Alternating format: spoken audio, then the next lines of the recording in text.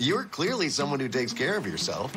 So why wait to screen for colon cancer? Colon because when caught in early stages, it's more treatable. I'm Cologuard. I'm non-invasive and detect altered DNA in your stool to find 92% of seriously, look, even in early stages.